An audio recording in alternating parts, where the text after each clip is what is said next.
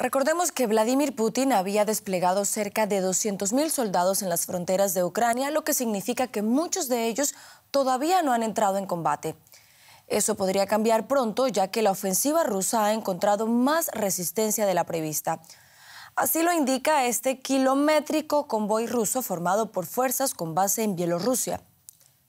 Este se dirige desde el norte hacia la capital de Ucrania, según muestran imágenes satelitales. Una columna de tanques, artillería y transportes de tropas que abarca unos 65 kilómetros.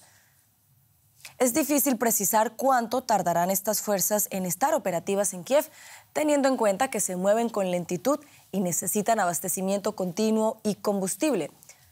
Pero si miramos los frentes de batalla alrededor de la ciudad, estos apenas se han desplazado desde que las fuerzas rusas empezaron el asalto. Ha habido ataques aéreos, pero las tropas ucranianas han rechazado los avances rusos por tierra. Las autoridades de Kiev afirman seguir teniendo el control.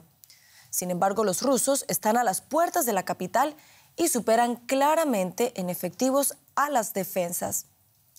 Esta parece ser la situación en todo el país, donde las tropas terrestres rusas no han avanzado mucho más de los puntos donde iniciaron la invasión en el norte, este y sur de Ucrania.